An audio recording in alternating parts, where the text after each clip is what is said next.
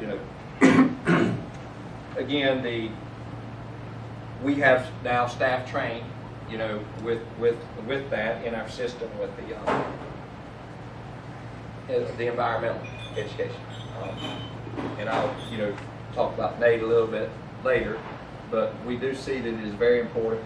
It is, it is a part, when we had our master plan, Ms. Gretchen, I believe you, Mr., you all went to the couple of the meetings when we had the public meetings for the master plan, and we're putting all that together. And one of the things that was pretty evident throughout was, you know, more and more folks were, you know, wanting to see more and more natural space, you know, um, access, more access points, um, um, on our rivers and, and greenways, bike trails. Um, those are things that we are look, going to have to look at seriously. And what, what, what, how are we going to do that in the future? Um, we're a, a growing community, and as our community grows, our needs are different. And, and so I think um, we're going to have a good plan coming out soon that, that will be able to address, you know, those, those findings. Because the findings of that plan are basically from folks that came out, answered the, we sent surveys, random surveys, had a lot of servants and surveys that came back. Uh, They analyzed those, you know, from the support meetings that we, that we did have um, with the master plan all over the county. Uh, There was a, a group that were, you know, throughout the county of different people that, from different areas that were part of a, a support, a group to come together as, as teams to see what they would like to see in our county.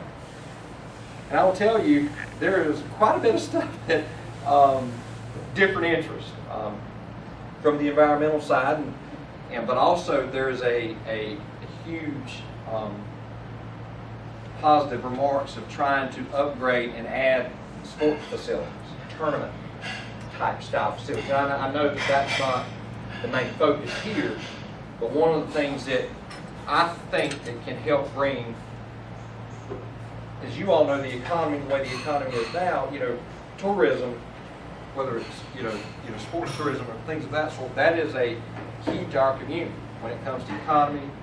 We have some thoughts on that for you later. Okay. Um, but one of the things is, I think, you know, just to give you an example, the first week in February, we had an adult softball tournament. 65 teams from as far as Cincinnati, Ohio to Miami, Florida.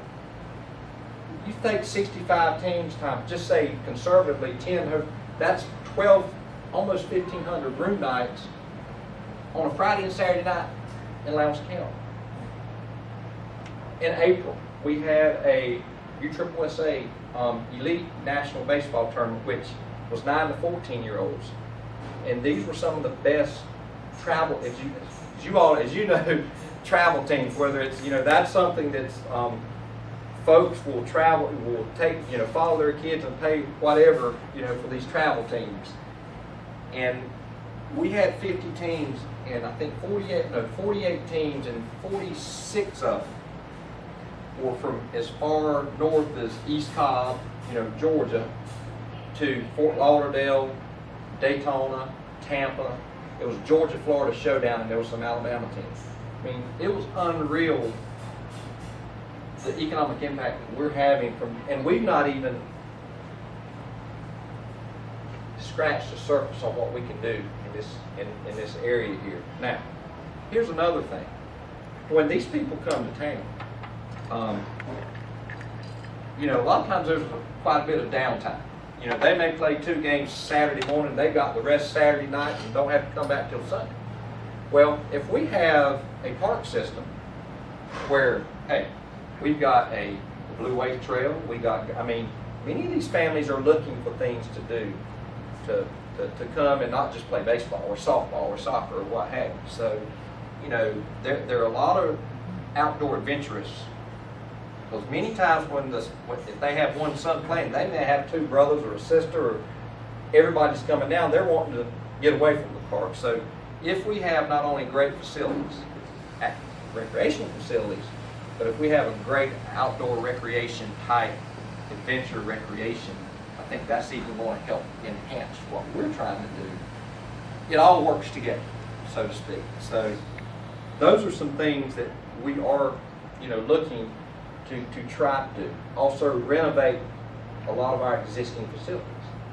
You know, many of our facilities, we have great facilities, but as you know, as years go by, you, you, you have to maintain, you have to do maintenance. And, and those are things that we are, you know, trying to, to look at doing. I think we've done a, an amazing job of, of, you know, with the resources we've had to continue to maintain what we've got. Because I truly believe that in a parks and recreation system, you know, I see different counties or cities in Georgia, whether it's SPLOST in Georgia or whether it's um, a park bond referendum in North Carolina, you know, they, or Cherokee County passed a $90 million park bond referendum. Well, they have all these facilities there, but the, the key is, is if you're building new facilities, you gotta make sure you're still maintaining what you got as well. It's good to have new facilities, but I think it's really key that, and I think our team here in Valdosta and Lowndes County, our, our staff and our authority board and folks realize that, you know, that's, that's something that we've got to make sure that, that we do, we take care of everything we do have. So,